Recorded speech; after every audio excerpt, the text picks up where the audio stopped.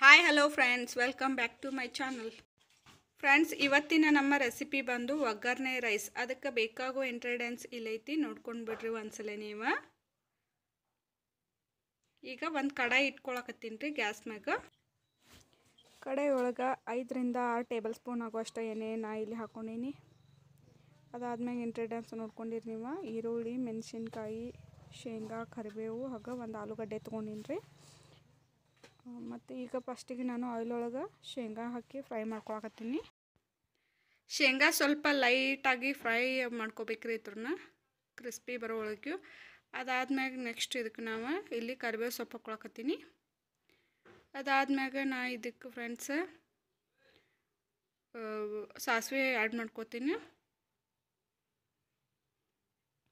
ಅದಾದ್ಮ್ಯಾಗ ಒಂದು half tablespoon ಆಗುವಷ್ಟು ಜೀರಿಗೆನೂ ನಾ ಮಿಕ್ಸ್ ಮಾಡ್ಕೊಂಡೀನಿ ಇದಕ್ಕೆ.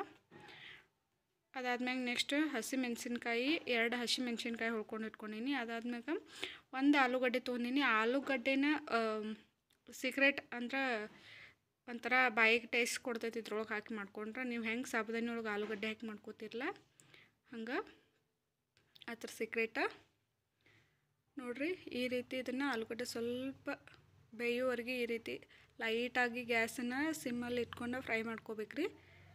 ಅಂದರೆ ಗ್ಯಾಸ್ ಸಣ್ಣ ಇಟ್ಕೊಂಡು ಫ್ರೈ ಮಾಡ್ಕೋಬೇಕು. ನೆಕ್ಸ್ಟ್ ಇದ್ರೊಳಗೆ ಒಂದು ಈರುಳ್ಳಿ ತೊಗೊಂಡಿನಿ. ಈರುಳ್ಳಿನೂ ಫ್ರೈ ಮಾಡ್ಕೊಳಕತ್ತೀನಿ ನಾನು ಇಲ್ಲಿ. ಒಗ್ಗರಣೆ ರೈಸ್ ಅಂತೂ ಭಾಳ ಅಂದ್ರೆ ಭಾಳ ಮಸ್ತ್ ಬರ್ತೈತೆ ರೀ ಒಂದ್ಸಲ ಇದನ್ನು ನೀವು ಈ ರೀತಿ ಟ್ರೈ ಮಾಡಿರಿ. ರಾತ್ರಿ ಉಳಿದಿರೋ ಆದರೂ ನಡಿತೈತಿ.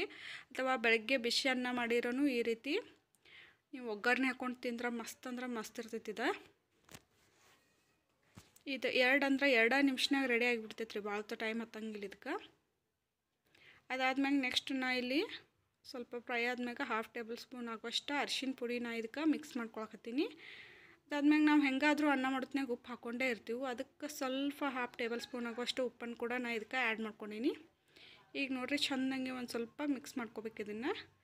ಅದಾದ್ಮ್ಯಾಗ ಇಲ್ಲಿ ದೊಡ್ಡ ಬಟ್ಟಲೆ ಎರಡು ಬಟ್ಲು ಆಗುವಷ್ಟು ನಾನು ರೈಸ್ ತೊಗೊಂಡೀನಿ. ಅದು ಬೆಳಗ್ಗೆ ಮಾಡಿದ ರೈಸ ಅಂದ್ರೆ ಸ್ಕೂಲಿಂದ ಹುಡುಗರು ಬಂದ್ಬಿಟ್ಟಿಗೆ ಎಲ್ಲ ನೀವು ಮಾಡ್ಕೊಡೋಕೆ ನಡಿತೈತಿದ ಚಲೋ ಇರ್ತೈತಿ ಬಿಸಿ ಬಿಸಿದ. ಅದಾದಮೇಲೆ ನಾ ಇಲ್ಲಿ ಒಂದು ಟೇಬಲ್ ಸ್ಪೂನ್ ಆಗುವಷ್ಟು ಸಕ್ಕರೆ ಹಾಕ್ಕೊಂಡೀನಿ. ಸಕ್ಕರೆ ಯಾಕೆ ಹಾಕೊಳ್ಪ ಅಂದ್ರೆ ಇದು ಉಪ್ಪು, ಖಾರ ಏನು ಹೆಚ್ಚು ಕಡಿಮೆ ಆಗಿರೋನು ಎಲ್ಲ ಬ್ಯಾಲೆನ್ಸ್ ಮಾಡ್ತೈತಿ ಅದ್ರ ಸಂಬಂಧ.